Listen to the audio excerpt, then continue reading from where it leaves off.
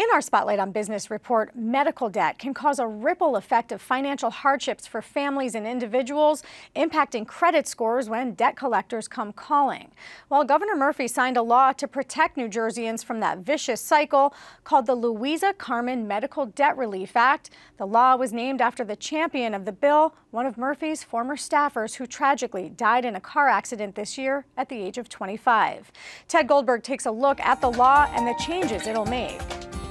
I wish that I never had to think about this. I was 26 years old. I was in the best shape of my life. I was, you know, financially in the best shape of my life, actually. And then I started dying, and so did my, my financial health. Amanda Slager fought and survived despite a dire diagnosis in 2018. My lymph nodes were kind of closing in on my vocal cords, and so I couldn't speak um, above a whisper for a long time. At the time, that she ran the blood work that Friday. Uh, my white blood count was at 116. It's supposed to be between 5 and 10. Slager says a slew of symptoms sent her to various doctors. My gums started bleeding, um, and they wouldn't stop. But it kind of looked like really inflamed pimples, but they weren't.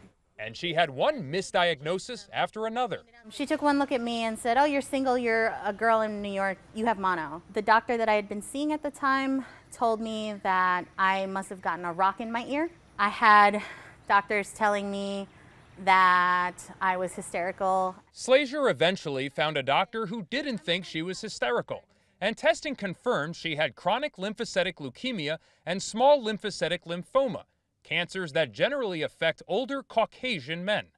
Despite having health insurance through her job and through Cobra, Slager had to pay $14,000 for the first year of treatment, so she needed a little help. A lot of my family, a lot of my friends, a lot of coworkers, people that, you know, I, I ran into um, that shared my story. I, I, was very fortunate. My dad hosted charity um, you know, fundraisers and, and things like that. I, I sold some of my furniture. I sold some of the things that I owned.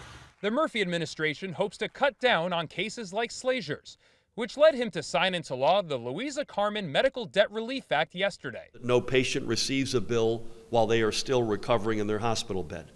It will also keep medical bills out of collections for longer, so families have more time to seek financial assistance or even appeal a charge.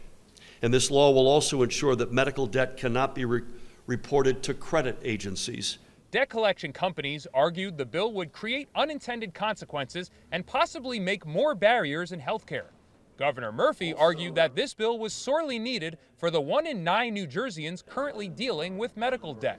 It will protect generations of New Jerseyans from falling into medical debt and facing the risk of financial ruin. Because I had been hounded by debt collectors so often, every other call then and, and even now, are debt collectors. And, and because of that, I felt pressured to do whatever it takes to pay them. Slager is pleased to see efforts to help people in her situation, though she would have liked to see this bill signed years ago to help her. But I can't go and change the past now. And I am just glad that anyone else who has to deal with it in the future doesn't, doesn't have to force their way through these roadblocks. There's also a separate initiative in the Murphy administration to use $10 million in state funds to wipe out medical debt for people in New Jersey.